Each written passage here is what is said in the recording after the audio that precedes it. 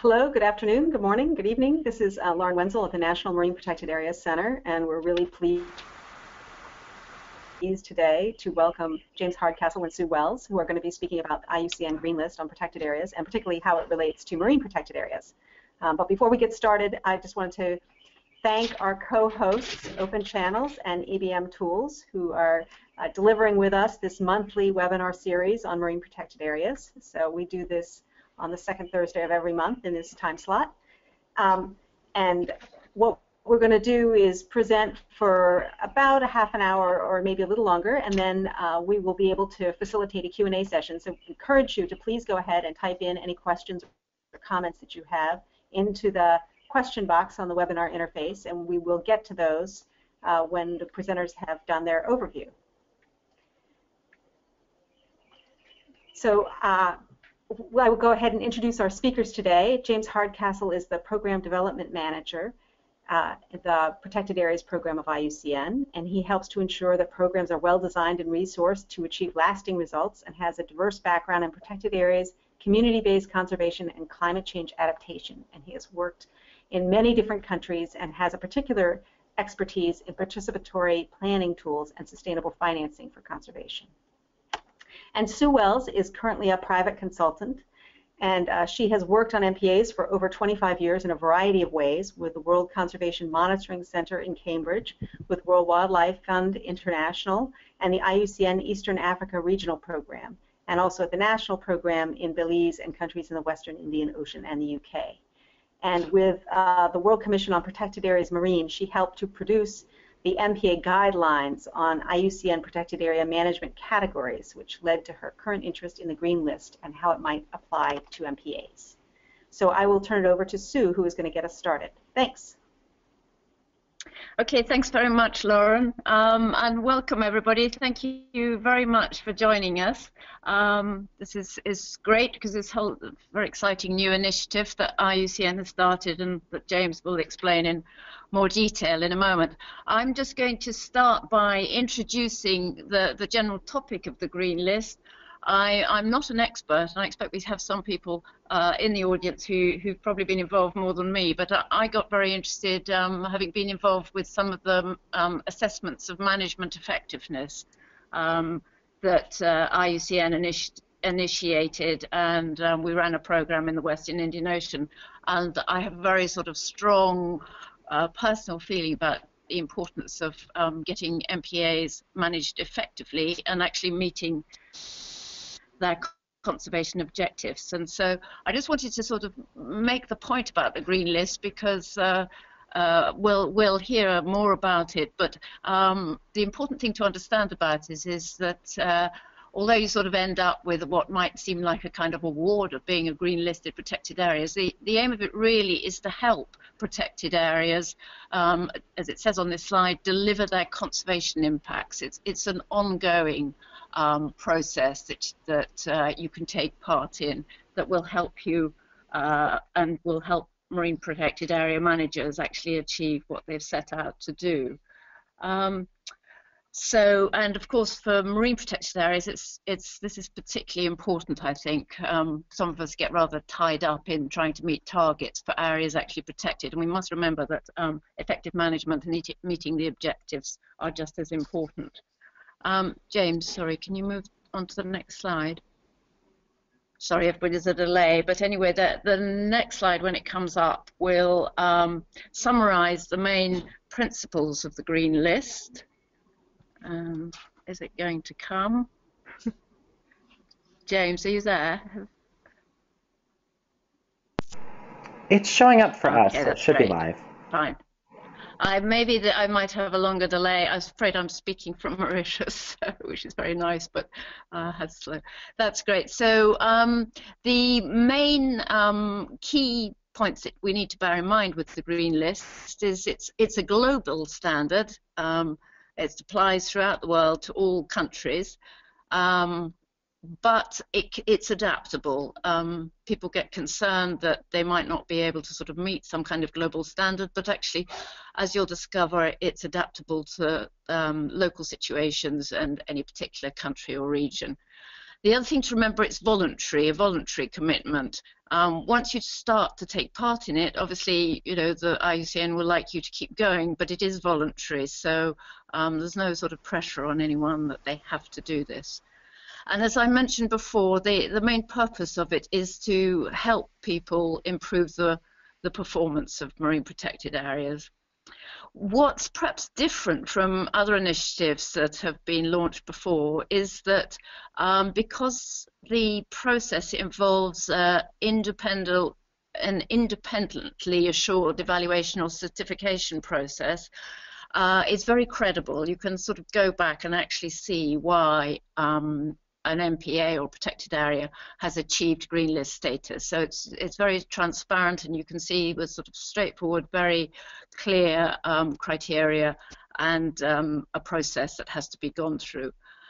And of course, the very nice thing about it is that um, for protected areas that, that get to be on the green list, it is very nice global recognition of what's been achieved, um, and particularly to what the staff have achieved.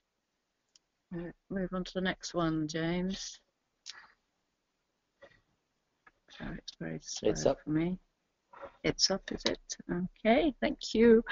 Um, and as James will explain, IUCN has initi initiated it, um, and there are a series of steps and activities that that um, are, need to be gone through. We, the way it works is through a national, or I think well, James will explain in more detail because I think there are they're not necessarily national, um, just nat national expert action groups, James, but you can explain that in more detail. Um, the the process is measuring the performance of the MPA against the standard. Um, once this has been tailored to the local context, and we've got now some nice examples of how this is being done, which I think James will be running through. Um, there's a sort of process there you can actually promote through IUCN. You're able to promote the success of the work that's being done. And the other very important aspect of it, of course, going through a process like this, it helps you to identify the gaps in investment, uh, in financial investment, uh, capacity building, and other issues that you might need to actually build uh, the sustainability of the protected area system, and, and in this case, uh, marine protected areas. And uh, as we've mentioned before, it provides this nice reward and recognition for the actual people who uh, are involved in MPA. So we're, we're concerned about the biodiversity and the achievement of the protection of that, but um, the people who are doing this also need to be recognized. Okay, James. So we then want to um, just run through why we sort of specifically talking about the green list in the context of MPAs. The green list is it's very important to understand it is designed for all types of protected areas from mountain tops to deep sea oceans. It's it's very broad. Um, when you get to look at the um, initially look at the standards, you'll see it's it's it's very broad, um, so it can apply to anything. Um, but we want to be sure for marine protected areas that um, the guidelines for um, actually participating in the process are clear. A number of questions have already come up since the launch of the Green List program uh, about the involvement of inclusion of MPAs in this. And so um, by initiating this discussion with the MPA community, we'll be able to identify any any problems and issues. Um, secondly, the um, the this whole topic was identified, in fact, by WCPA Marine back as, as long ago as 20, 2008, um, when it was suggested that some kind of certification scheme for MPAs would be useful. Um, since then, uh, the Green List has come out of the, of the, global program at IUCN, and we want to make sure that we're linked firmly in with that.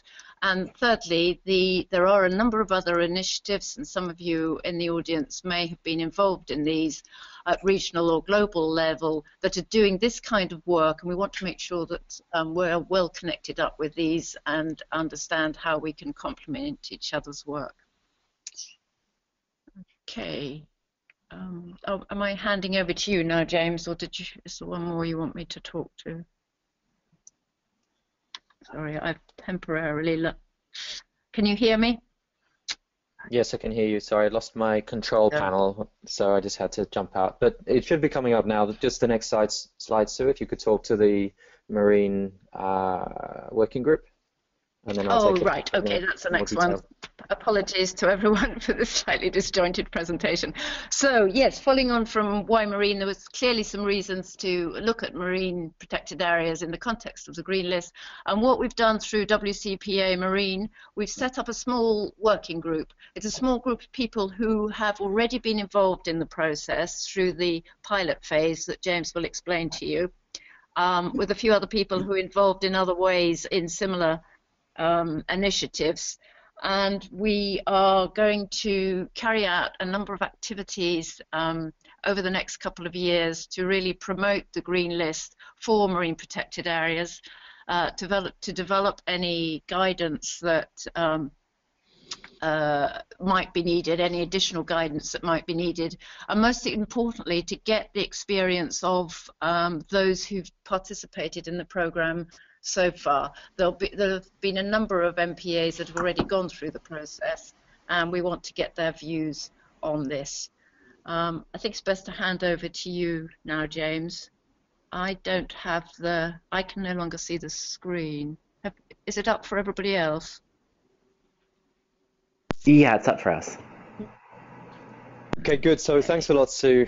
Uh, thanks for that uh, introduction just to some of the, the overall points. And I, am really keen for Sue to jump in to make sure this stays on the marine topic because the, the IUCN Green List of Protected Areas is, of course, designed to be uh, applicable to any type of protected area, terrestrial, freshwater, subterranean, and, of course, marine, and the various other places we might think of as well. So it's uh, any size, any shape, uh, any governance type, um, we're hoping that this can be a useful a useful tool. Um, also, just to point out that uh, we've gone through one pilot phase, um, and rather than try and develop everything in um, you know in, in theory and kind of working out what we could best do, we just really did it quite incrementally in the pilot phase. We started with a couple of countries, we added a couple more, we made it up as we went along. Uh, we kept on going, but you know, at a certain point, we said we, we can't test this without doing it live without actually having protected areas put their hands up, uh, the agencies supporting them put their hands up, and uh, experts within those jurisdictions to also put their hands up to help us put it together. So we had a really good collaboration. Um, and we're now, uh, just next month, we've had a, a, bit of a hiatus, just an evaluation, feedback from that first phase. We're now just uh, next month launching uh, a development phase, we're calling it, which will take us through the next three years, uh, where we can um, really get to grips with um, with the green list and how it can be applied, uh, what the what the value is to people, how we can you know get the costs balanced, how we can get all these different bits uh, bits together. So all of you on here, you're welcome. Uh, please pitch in with ideas, comments, um, and, and get involved. This is something that's not uh, being developed in isolation and then will be just just just just put out there. So we'll here on this slide are the, the key steps. Essentially, this is the green list uh, process, and it starts uh, with that collaboration with IUCN that Sue mentioned. So an interested jurisdiction, and we're, we're not limiting that to countries, although generally at the moment it tends to be countries, but it could be a state within a country. It could be uh, a, a, region. So for example, we're hoping to work with the Micronesia uh, region in the North Pacific, which is three countries and two U.S. territories. So that would be one jurisdiction. You know, in the future we could see maybe a, uh, you know a Central America or an Amazonia. There's, there's different ways to, to, to dice things up that make sense. And of course, with the marine uh, realm, with the marine protected areas, then there might be some uh, jurisdictions that would be more relevant to the marine context and, and could possibly form their own their own group. But once that is set up, the first point there is to is to have our independent uh, reviewer. So we have this uh, assurance model. So that independent reviewer is appointed from the start. So we have uh, kind of auditing as we go of the process and how things are conducted. Um, the key, the second point I'll speak to is this expert action group. They're the people who know the country, know the place, know the protected areas, know different types of uh, skills behind protected areas, and they're the ones that are really the engine uh, in this process. Um, Sue mentioned the standard. It will be a global standard, and I'll come on to how that can be adapted uh, to the local context. And then even within a jurisdiction, you might have specific adaptations that are possible for marine protected areas, let's say. Um, once we've got all through through through the kind of the startup, then it's about you know go forth and get protected areas interested. They sign up, they register their interest. We mentor them, they become candidates, and once they're a candidate, they really push to get that full you know to meet the standard um, and to be uh, verified um, and recognized as being you know IUCN green list. Um, and off they go. So that's the summary. You think I'm finished? I'm not. That's just the summary. So I'll go through some of the points here. Uh, so I mentioned the expert action group. This is the team who make the IUCN Green List happen. It's a balance of expertise in a group that provides the critical objectivity and the expert judgment. They are the, the group that evaluate the protected area against the standard. We're offering, uh, we're developing different um, materials, uh, training. Uh, the members of this group, again, it will be voluntary. We, we want to link it to being members of the World Commission on Protected Areas and I see very much, uh, um, you know, it's not exclusively. You don't have to be a member of WCPA, but you do need to be an expert in your country, and, and this is this is for me one of the key focus of the Green List is to provide a, a hub, to provide a, a platform, to build on existing networks of experts in protected areas, marine protected areas, who are really interested to, to use that expertise and to contribute beyond whichever uh, day job that they might have. So supporting this group is a critical part of it, which will then lead to you know good evaluation of the protected areas against the standard, but also encourage more uh, connection to protected areas within each jurisdiction.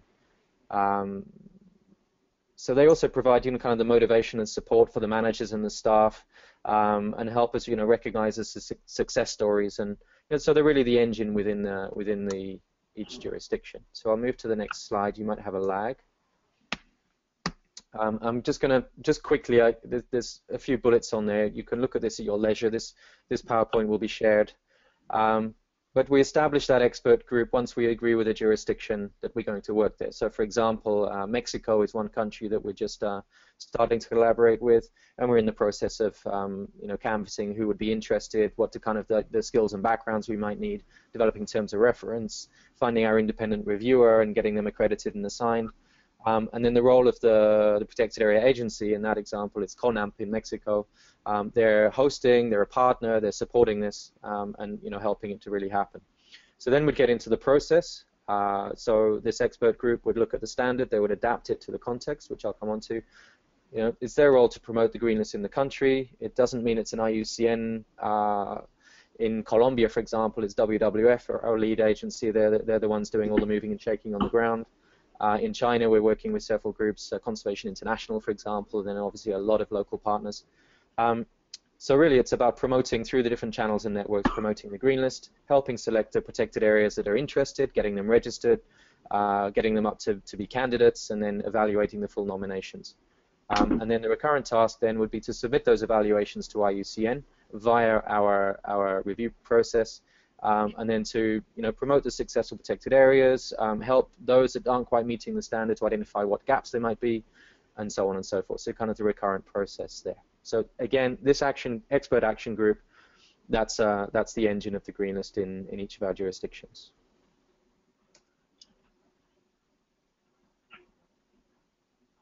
So I, I couldn't find a picture of a fish eagle, but there's a there's kind of a reviewer there, kind of the watching eye, uh, which would be appointed uh, by IUCN to each of these groups. Uh, they review the process. They do not provide uh, technical input. They do not decide whether the protected area has you know more rhino population than it did last week. They don't they don't judge about some of the you know the the, the more technical aspects. But what they do is uh, they will go through the, the process and make it every single stage that things are done properly and done according to the assurance procedure that we have. The reviewers are accredited by a third party. In this case, we're working with Accreditation Services International, who also do this uh, this role for the Marine Stewardship Council, Forest Stewardship Council, and a host of others. So they have, um, as part of their uh, mission, they're they're really helping us develop in partnership, develop this uh, uh the green list. So that's been a really useful uh, collaboration to have. Um, the reviewers are culturally and linguistically in tune. We have a model by which we can have a regional professional auditor, but then we have associates based in each country or each jurisdiction so they can understand the language, they know the culture, they know, know how things work and how meetings are done and so on. So they can be really in tune.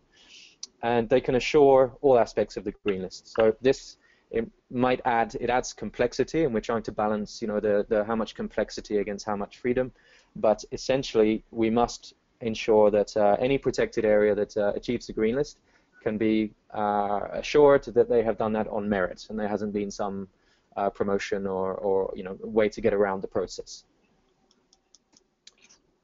So then we get to the actual standard, and I have the slides at the back of this. I've listed out just a summary of the main criteria, but I don't want to present everything now because it would take take a while and uh, probably probably detract. But essentially, it's very simple. We have uh, four pillars. We're kind of three pillars and a and a, and a whale's tail here. Um, you know, if I was talking to the forest group, it would be a tree, but I found a whale, and that, that kind of works for me. So we have the three pillars underneath, which are that the protected area, marine protected area, is designed to deliver uh, the conservation of its key, uh, key values.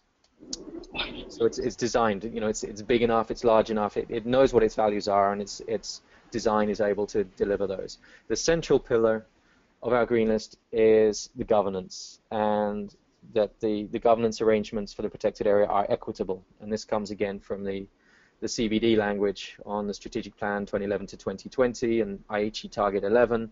The, the quality elements of this really fit into our, our standards. So the equitable governance is really important, central pillar. And then those two also, you know, combine with the effective management that Sue mentioned before, and there's a lot of work being done on, on marine protected areas and effective management. Um, less so on governance, but they really th this is this is the nuts and bolts of it, and this then leads to the fundamental piece of the green list. What we're really looking at is is the conservation outcomes, and it, it, are the three pillars: is the protected area, are all the processes in place to deliver conservation impact. And the real job of the expert reference group is to look at that particular component. A lot of the, the inputs to the, the, the bottom three pillars, the criteria, is could be self-assessment. It's based on different reports and inputs, but it's that critical piece is yes, it's designed well. Yes, it looks like it has good governance processes. Yes, it's got a management plan, but is it actually uh, conserving the natural and social values that uh, you know the area represents, and is it having a conservation impact? So that's the critical piece. And I, I hope there'll be a few questions such as how do you measure that, and how many protected areas in the world are actually doing that. Um, and uh, the response to that would be, well, let's start with this and see how many we can we can start getting on track to do that. So that's the pillars, and there are. Um, the slide is just changing. So that's the global standard, and then we're developing a mechanism by which it can be adapted to a local context. And I think it's important for the marine protected area context that we really look at this and uh, we come up with either elements of the criteria globally, but also uh, some guidance on how and when some of these would be more applicable to marine protected areas or not. So essentially we have uh, those four pillars uh, on the left, they're global. The criteria are globally consistent. We don't change the criteria. There could be a case where a jurisdiction would say a criteria is not relevant, but uh, normally there might be more criteria added. But if we can have those 20 globally consistent, what you can do at the country level, it's the indicators. Uh, so how do those criteria then break down into indicators and then the means of verification that would uh, uh, you know, provide the evidence uh, that those indicators are being met. So that is what happens at the local local level. It doesn't mean you have to change everything. We, we have a generic set of indicators. Uh, but um, the first job with the jurisdiction when they're setting this up is to uh, to make those changes, and and that can be revised periodically as well, and that's uh, negotiated with IUCN, and when IUCN is happy that uh, those uh, criteria are suitable for that that jurisdiction, that context, then that's what we we set, that's what we agree, and that's what we move on. So I hope that's clear. So we have globally consistent criteria that must be met, but the indicators and the means of verification and some additional and possibly some uh, not relevant uh, criteria can also be changed at the local level. So I'm just uh, changing the slide. There's three steps we've identified. In the pilot phase, we just had two we didn't have this candidacy uh, patient. Sorry, I, I slipped again. Uh, we had two steps in the pilot phase. You registered for the green list, and then you tried to achieve the full standard. And what we found was some protected areas were in the middle, and they didn't really have anywhere to, to, to hold on. They couldn't catch their breath anywhere. They're like, well, we haven't made the standard, so so now what? And so what we've what we've done is to for the new phase is to just put in uh, three steps. And the first step is the registration. So if a protected area is interested, and as Sue mentioned, it's voluntary, so your interest is, uh, we're not going to come and assess your protected area for you. IUCN is not going to come and say, hey guys, you not, you don't make the green list. And they're like, what? We, well, we, we, we, not, we haven't, we don't know what it is. So it has to be uh, a registration, and that registration is almost the most important step, and that is a commitment to work towards a global standard for, for protected areas, in this case marine protected areas. So that registration, it's accepted, the protected area is accepted, the basic data is submitted, they commit to the standard, and they begin to prepare the candidacy application. And that's the middle step. The candidacy is, is uh, it's, it's like the 5 out of 10. The candidacy is to demonstrate that you have all the ingredients necessary to become a successful protected area. So you have a, an inclusive governance process, uh, you, you, you're a legal protected area or, or equivalent, you have the boundaries are more or less defined, you know what your values are, it's, it's kind of the basic inputs that are prepared.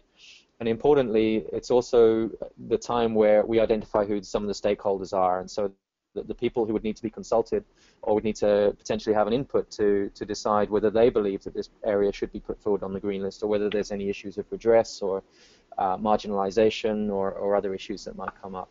So once accepted as a candidate, this is where uh, the real hard work begins of the, the expert group is to help uh, walk that protected area through the full standard and to see if at some point in the next few years from being a candidate, they can put the, all the things in place to be a green list protected area. And that's where the focus is really on demonstrating the conservation impact. Um, and then they get recognized by IUCN and get all the promotion. And hopefully there's enough benefit in that um, that that would still be worthwhile to, to strive for.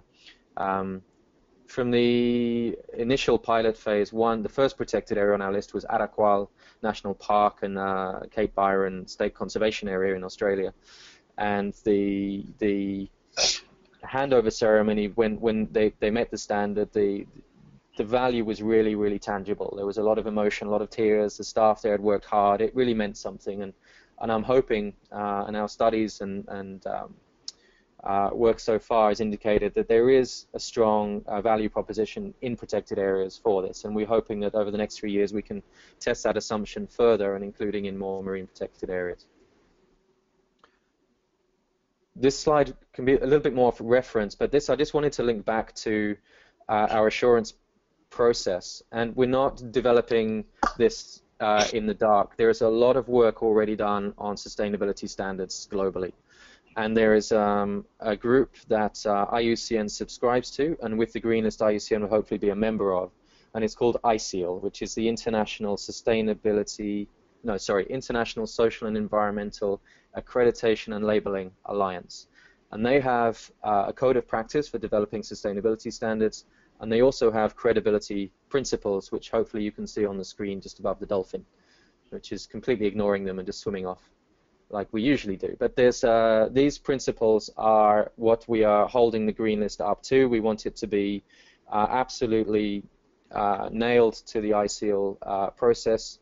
Um, and in doing this, we're actually offering a new way of looking at things for a, what is essentially a non-market uh, accreditation kind of labeling uh, product that we have with the green list. Most protected areas, the majority of them are public public goods, state operated or community managed, or else you know other. There isn't really the market such as you know FSC has, for example. We could have some market integration of this, but it's a kind of a different model. So it's also interesting from their their perspective to see how we can develop something um, that adheres to the principles.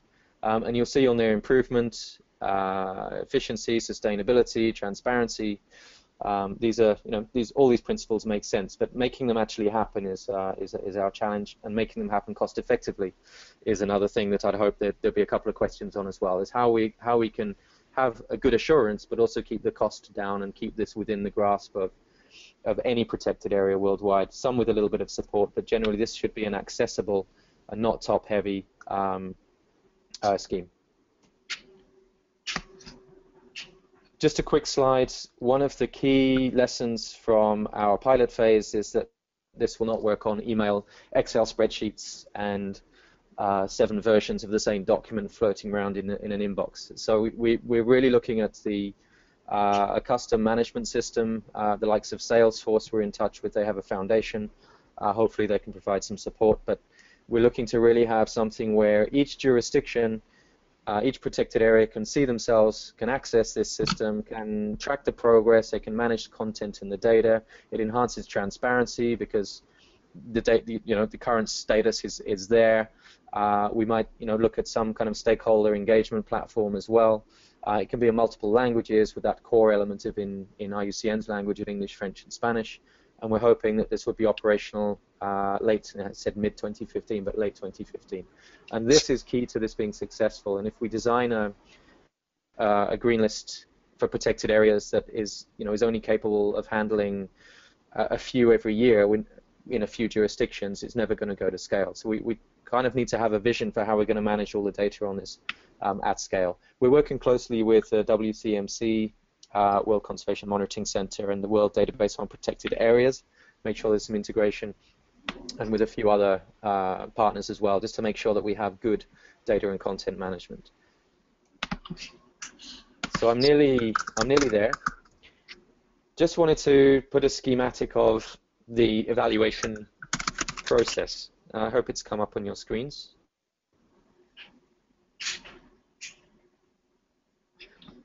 So the governance of the green list is important, and I'm going to come on to governance of the standard because that's something that everybody on this call can help with. Um, but overall, we have IUCN owns the scheme. So it's this is the IUCN Green List of Protected Areas. But within that, there's uh, there's there's some firewalls, there's some different roles for different groups and different people to be to be involved. So at the top, we have an IUCN Global Green List Committee. And in the interim, we have a committee whose role is to really help think through what the committee should look like. And we're, we're starting to put in place a new committee structure from next month. Uh, the committee members would uh, work to, you know, they would forget their professional affiliations. They would work to a terms of reference and in their professional capacity of, of expertise and in helping, uh, helping, you know, further the aims of the Green List. They would be appointed by our Director General and they would be at the top of the decision-making structure. Under them, there'd be a small secretariat and, and there'd be a management team, especially for this next development phase, a management team. But ultimately, we have this uh, um, uh, appointed but independent committee at the top. Uh, the role of the committee is to verify all the evaluations. So the buck stops with the committee. They have the final say on all the decision making. It doesn't mean they need to go through all the data, but they need to see that the checklist is being done, and they have the right at, at any point to raise a red flag or say, hey, I want to see more of that. They can dig back down deeper into the the chain, everything would be transparent to see the data and they can ask further questions. But essentially, if the technical evaluation is sound, that the independent review process says it's been assured, then that decision making should be fairly quick to assign uh, the green list status uh, to protected areas. And we do that assigning probably uh, at the moment once a year. We'll do the next one in 2016, but we could see in the future that might be biannually or even quarterly. At the bottom, the, the smaller box is that local expert action group, the EAGLES as we call them, uh, they're the ones who are doing the technical evaluation. They're, they're the engine of the green list. So uh, successful nominations submitted via the review to the committee for approval, and incomplete ones are referred, uh, clear guidance provided on the gaps and the shortfall. Um, and then we have around wrapped around that this uh, accredited and independent review process, uh, giving feedback on the process and on compliance uh, with the assurance procedure. So that that's kind of a, a simple there's a lot of questions in there and we're still testing things, but that's essentially how we see it working. Change the slide. Change the slide. There we go. Uh, so the next, I mentioned 2016. That's not because we have a World Conservation Congress in Hawaii, who are also hopefully going to be part of this. That's that's that's just a coincidence. But uh, given all the work we have to do, to um, update the standard, to relaunch it, uh, and some of the, the processes on the right there, we think it's probably realistic that our next listing, our next kind of uh, celebration of all the protected areas that have gone through the process would be in September 2016 and or in October, where there's a CBD event in Mexico, who I mentioned also partners.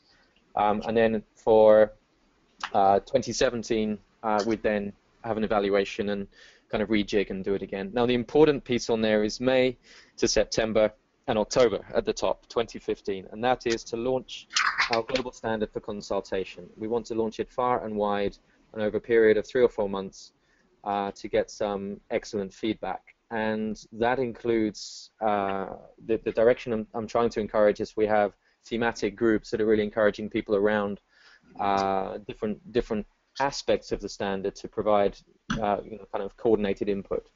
So I would hope that uh, this uh, WCPA Marine Working Group and any of you on this call could help take a marine protected area perspective to our standard and to some elements of the process and to give that feedback over the next few months so we can then um, get that included. Um, and part of our uh, uh, governance structures, we'd have a standards working group who would report to that committee, and that standards working group would be uh, assigned uh, the task of, of, revising the standard. Um, and we have some very standard people working on it, uh, you know, who do standards. So they do standards every day. So they're, they're um, hopefully going, you know, we have enough um, time and enough uh, input, and we can really come up with something that's that's going to to really really work. And we'll, we'll then test that in the next phase, and then it can be updated again the next time in 2017. Uh, so, in the interest of time, um, this is just from our pilot phase. We did have eight countries. Uh, we had 50 protected areas that kind of engaged with the process. 28 of those were nominated, 23 achieved the standard, uh, although it might be 24, there's one that's uh, tentative. Um, we had over 200 uh, people involved, mostly from those jurisdictions, and then kind of our international uh, development team. And then from uh, the launch at the World Parks Congress in November, uh, nearly six months ago, we've had now 12 firm commitments, new country proposals, and we're still working out now in the next couple of weeks which would be the new countries to come on board. So I mentioned uh, Micronesia, for example, uh, Japan, Vietnam. Uh, there's some North African interest. We have uh, Central and South America. And then certainly within Africa, we're still working out where best to go. South Africa is Burkina Faso. Uh, there's a whole range of, uh, of countries um, in and around Africa and and then in Europe as well, we have France, Spain, and Italy forming a nice, uh, a nice block. They're collaborating, and uh, there's some marine protected areas that they're looking at, transboundary ones as well. Um, then there's a couple of smaller countries like China and Russia um, who are interested, and um, so hopefully in the next months we'll we'll narrow this down to about 20 jurisdictions that would be working in uh, in the next uh, the next certainly the next two years, and that could increase as well. So it's it's exciting. The demand is really tangible, um, and so we've just got to be careful we don't uh, outpace ourselves in terms of the resources. We're already stretched a little bit, but we're hoping that um, uh, we can really pull it, pull this together this year and uh, be able to service these places. Um, here's just a quick list um, of the successful protected areas so far. Can you still hear me? Yeah. Good. Uh, so the the outstanding um, marine protected areas in Colombia, there's Gorgona, uh, which is an island uh, in the Pacific. Uh, we have Guadeloupe uh, in France. Uh, also in in Brittany in France. And then uh, Cerbère is spelled wrong there. Cerbère Banyuls, which is in the Catalan corner of France in the Mediterranean. Um, and then in Australia, the, both of the Arakwal and Montague are, are managed uh, terrestrially, but they, they have marine components. Um, in China, there was one uh, marine protected area that was put forward, but didn't uh, didn't justify uh, meeting the standard yet, and that's Nanpeng Islands near near Shanghai, I believe. So we already have some experience with uh, with the marine protected areas. All of these are listed uh, provisionally based on our pilot process until uh, September 2016, when they'll have to justify why they remain on our updated standard. So if we change a few things, they have to then they won't have to do the whole application, but they have to justify how they continue to meet meet the standards. Some of the key things is around stakeholder input in our pilot process wasn't perhaps as tight as we had hoped, and so we'd have um, you know some some input from people in these these, these protected areas to help us uh, uh, justify that they, they they remain on the list. So I'll um, hand over to Sue just to put anything that I might have missed, and then we can um, have some some Q and A. Thanks very much, James. I, I, think that was great. I haven't any, I don't want to sort of add anything specific, and we want to allow enough time for questions. I do just want to um, run through a few ways that people can can actually get involved. Um, I think the first thing really is to get a good understanding of the process um, before you launch into commenting on it. It, it is actually quite complex, and um, every time I hear a presentation on it, I think I must go back and really make sure I've, I've grasped that. So I would urge you, if you're interested, start by getting to grips with it all. Um, James can put you in touch with the main um, sources of information on the green list. Um, secondly, as has been mentioned, there are a number of specific jobs to be done. Um, reviewing the global standard, and as James mentioned, we'll do that through the working group, rather so he's not inundated with individuals writing in. So if you if you looked at it all um, once it's launched and have comments, do please get in touch and we will keep you all informed of how we're going to um, respond to the consultation. Um, if you're with, working with an MPA that you think um, might like to, to get involved in the process, um, look first at whether the, your country or sort of jurisdiction is already involved, and if it is, go through them. If not, it's a little more difficult because, as James says, they are getting a little bit inundated with um, uh, initiatives that want to, you know, that, that, there's only a limited amount they'll be able to do in the second two years. But get in touch with us to see if, if there's something we can do. Before doing that, do look carefully at your MPA or your MPA system to see whether you think it is actually ready for that. And look, at how good the management is, look at the criteria and standards and what you have to achieve, look at what kind of, whether you can sort of measure the conservation impact that you're having. Because you, you might feel you want to spend um, a couple of years really working on the management plan and uh, your management and your monitoring uh, before leaping into it. That might be a better, uh, a better way to go. Um, if by any chance you're involved with other related initiatives, um, that is doing similar things, um, but and you haven't been in touch with us, uh, do let us know. We're trying to pull together all the um, standard certification process. An example, we're already in touch with um, the Coral Reef Triangle, for example, because we know they have a process for, for listing uh, MPAs, and we'll want to make sure that um, we link up carefully with that. Um, and if you generally have any suggestions um, as to how we should take this forward through MPAs, do get in touch with me and um, we'll discuss it in the group. And I just also wanted to say that Dan Laffoley is being very helpful with WCPA Marine in the various ways that we can keep you informed of the green list. There's the WCPA Marine Facebook site, the MPA blog, listserv, Twitter, uh, we'll use all those media for um, spreading information about the progress. So we'll use the working group to um, liaise with James and the IUCN program on this and make sure the information then goes out to the whole MPA community. So I think at this point we can perhaps uh, hand you over to Lauren and um, for the Q&A session. Okay, thank you both. That was really great. And um, so this is Lauren Wenzel at the MPA Center. I'm going to go ahead and facilitate some of the questions. So I encourage you, if you have any questions, please go ahead and send those in. I will go ahead and, and uh, some of them have already come in. So uh, there was a question about the availability of the recording and the slides, and those will be posted on the Open Channels website and also on the MPA Center website. So you can um, come back if you didn't get a chance to hear everything today, and you will have an opportunity to hear the whole recording. So, um, and there was also a, I thought, a, a useful kind of clarification question from Lisa Duarte, who, who just wanted to make sure she understood that the IUCN category assignment is a measure of management intent, while the IUCN green list assignment is a, man, a measurement of management effectiveness. Uh, would you say that's correct? Is there anything you would add to that?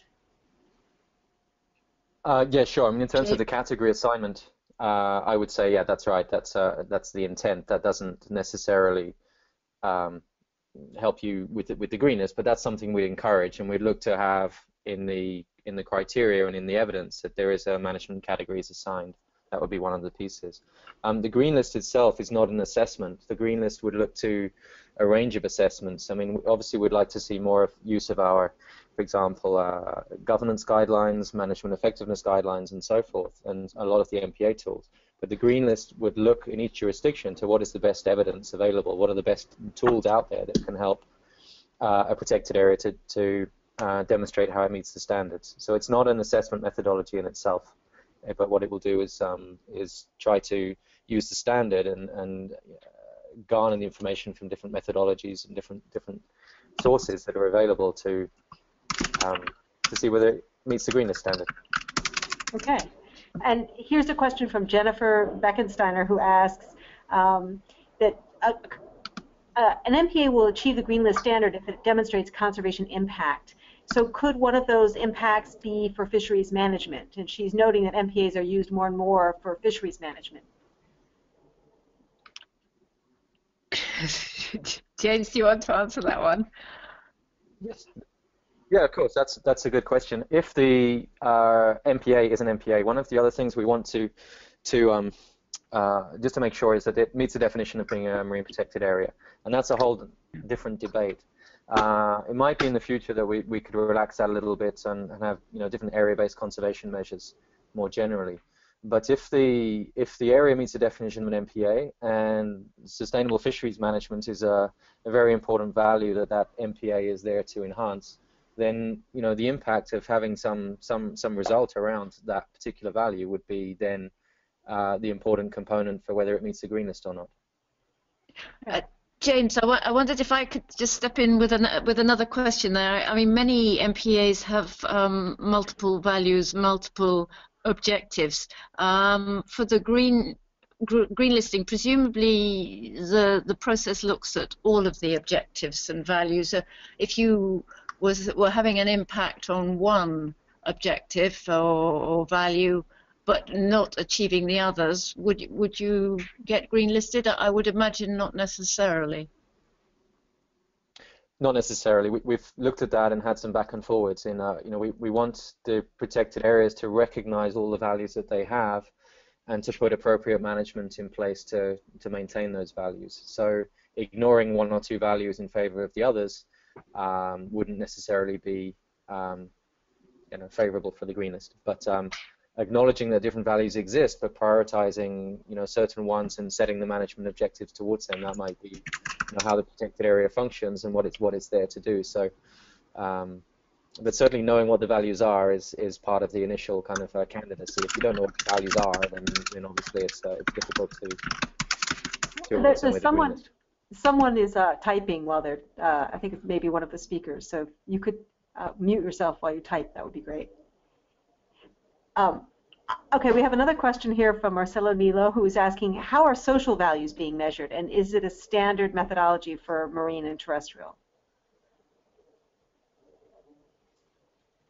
Um, that's a great question. I'm glad that that came up. That is, for me, the most important uh, piece of the green list overall, that we get the, the social piece right. I mentioned that uh, governance is the, the, core, the, the core pillar, and not just governance, but uh, equity in that governance.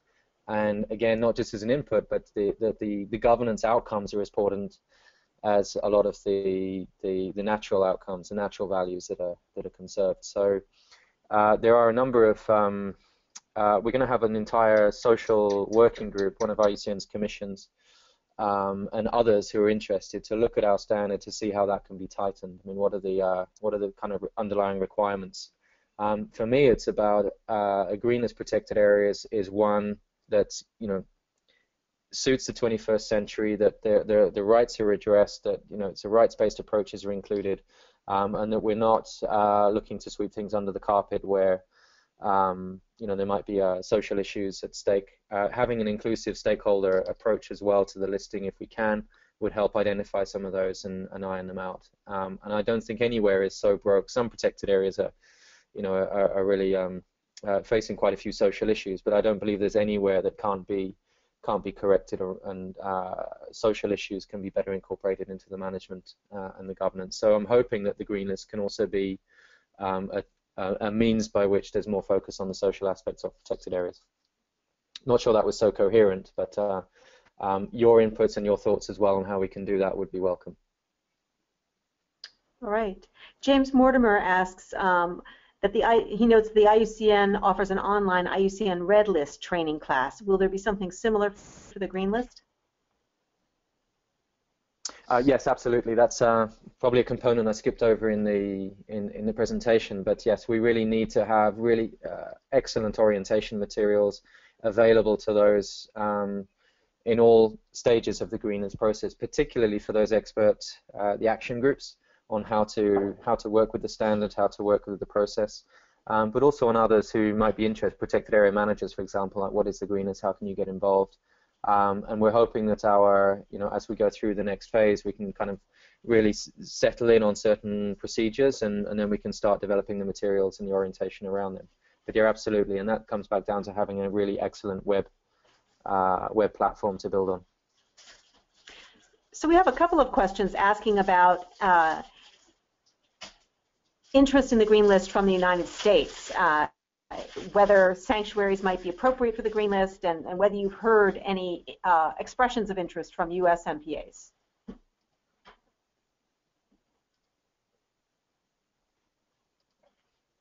Uh, Sue, do you want to? Uh, I I haven't directly. I mean, Lauren, can you talk to that? You, you I, I haven't directly heard anything from the USA. Yeah, I, I, I'd be happy to chime in. I'm, I am curious about, just in general, not necessarily marine, but the level of interest you've had in the green list from protected areas in uh, in the U.S. and Canada. James, have you uh, have you heard much?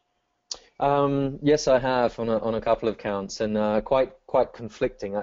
Uh, Hawaii is, of course, somewhere of interest because we're host Hawaii is going to host our IUCN World Conservation Congress, another big meeting. But uh, you know, we, we seem to like these. But it's going to be in 2016, and so I've been engaging with uh, some different people in Hawaii, and the the feedback has been uh, various. That I mean, how can you start with Hawaii when you've got the whole of the U.S. and you've got all these different layers, and you know, who would agree, and how does it, how does it happen? From then uh, kind of more local lobbying groups are saying this could really be something if we can find one where we're all working and really promote it. It's voluntary, but you know if we could encourage uh, the, that local level to get a, a, protected area working towards it. There's so much needs to be done in the marine protected area uh, situation in in Hawaii, for example, that you know has been raised. That could this be something combined with that event to really kind of give it a kick and to see if uh, something would move. Um, to, for Canada, the and this is interesting with Australia. Australia was part of our uh, pilot phase um, and really took to it with with gusto. And we have those two protected areas, and I'm really hoping we can continue with the jurisdiction there, New South Wales, possibly go the whole country. But it's similar, you know, Canada. Um, I haven't had too much feedback, but the first first comment I had was like, well, why why do we need the green list? I mean, we know we're great, you know. What's uh what what, what value are you going to add? So yeah, we're, we're green list, but you know we know we're great. So I was like, yeah, okay, I can see. Um, you know, this is this is a process. I think we have very different responses from different types of countries and, and where they're at in terms of their protected area system and the investment they have in it.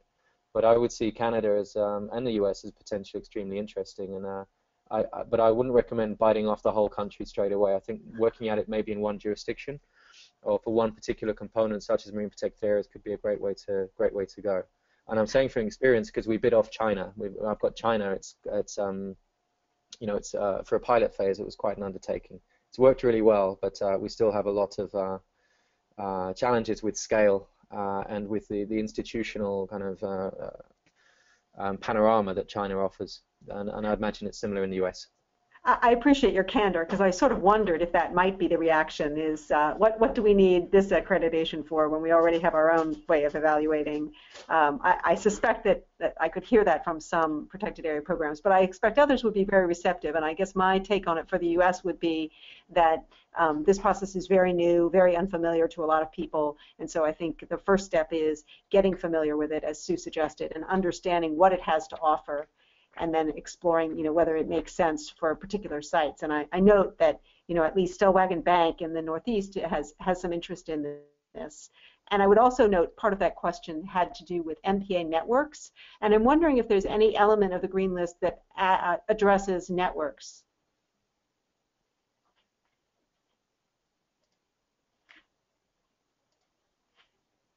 Um, networks. Um, I mean, certainly the current model is based on protected areas uh, nominations being put forward. And we already have uh, one case where it's a joint nomination, so you have two protected areas that are side by side.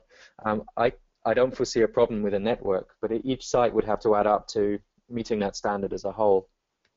Um, I think the role of the networks is really in uh, uh, more in taking the network almost as a jurisdiction or, or across jurisdictions, mm -hmm. but finding the, the experts who are willing to take on the green list and provide that input to make it happen. And then as a network, you could then, you know, we could really benefit from from a network approach to to sharing some of the ideas and what works, what didn't work, and you know, networking the protected areas that are you know part of our our scheme. And um, but we haven't deliberately looked at networks. That's something that uh, I'm just actually noting down uh, that we would need to need to build in a little bit more deliberately.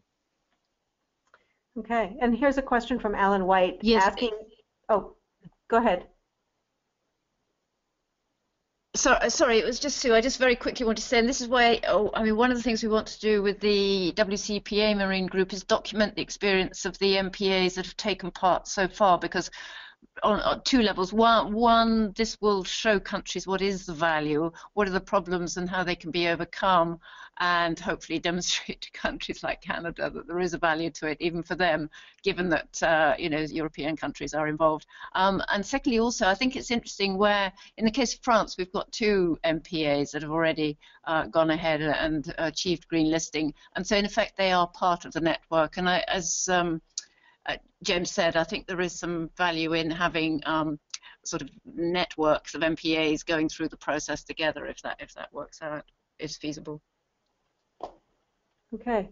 Um, I was just going to ask another question that came in, asking for more information about how the Green List process will try to synergize with ongoing processes, especially in the regional scale, like Coral Triangle or the um, MPA framework in the Caribbean. James, do you want to answer that, that one that from, from, the general point of view? Yeah, sure. Is that that from Alan? Well, firstly, yes. nice to nice to have you on the island, Alan. I, I, miss I miss working out in the Coral Triangle region, and um, uh, thanks again for your, your interest and support on this. Um, I would really like to see us working more on these regional uh, regional um, kind of initiatives because the the the added value of having uh, the existing networks, the, the comparison between approaches to protected areas at the system level and the site level um, is really valuable. And, and also that in terms of the transaction cost of setting up the structures, uh, the assurance uh, and review, um, sharing the, the, the, expert networks, uh, you know, the, the experience with using the green list.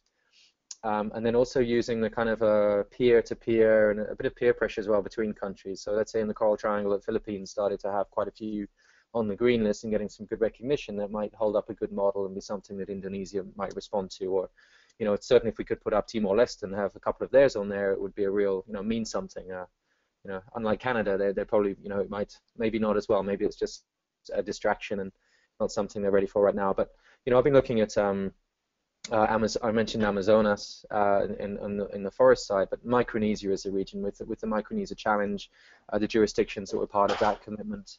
Um, that's an excellent model. I've been looking at some of the political ones as well, such as ASEAN. ASEAN has their, their heritage program. There was some interest from, from them as well, and certainly in the Caribbean, I think there's a lot of opportunities. As you know, there's decades of uh, of connections, collaborations, networks, and things there that would be you know something that the green list could uh, could help uh, you know raise the profile of some of these commitments as well and, and, and be useful for advancing some of the marine protected area work there. So I'm I'm all I'm all up for it, but at the moment we're we're going on the jurisdictions which are either from a state level, uh, you know, such as New South Wales within Australia or Andalusia in Spain, up to then we're trying now to go on a on a larger approach, such as looking at Micronesia as one jurisdiction.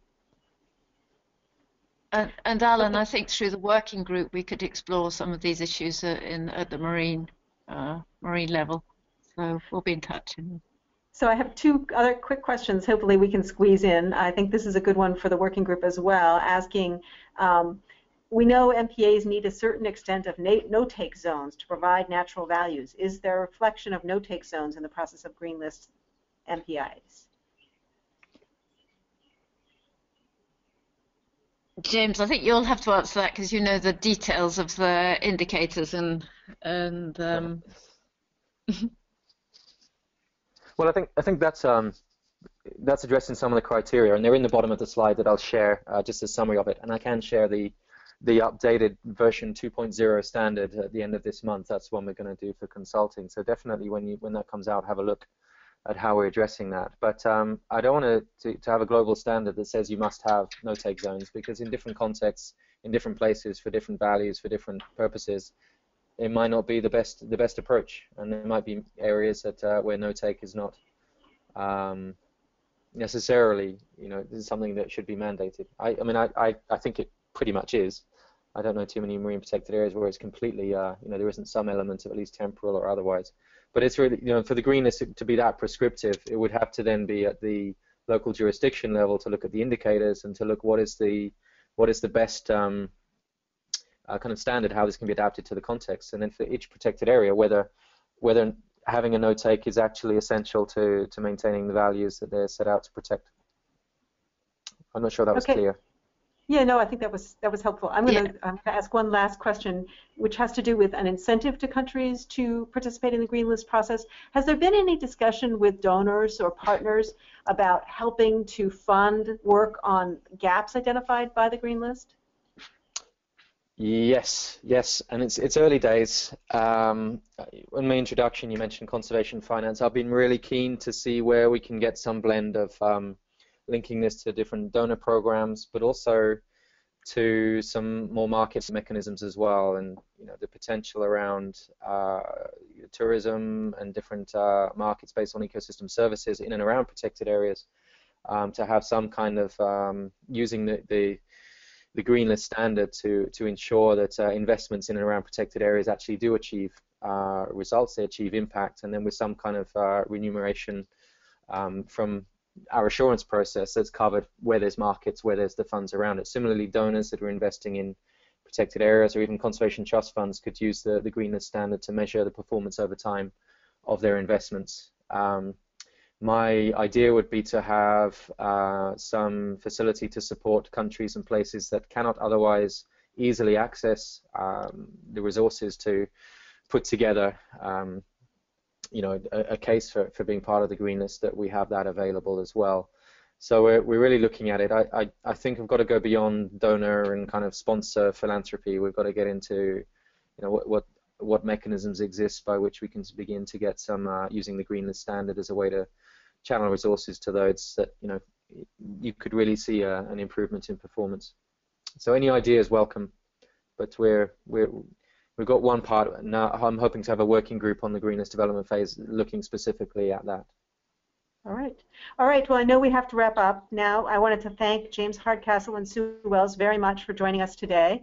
And I also wanted to thank Sarah Carr and Nick Wehner, both at EBM Tools and at Open Channels, for helping support this webinar series. Thank you all and hope to see you again. Thanks very Thanks, much. Thanks, everyone. Thank you.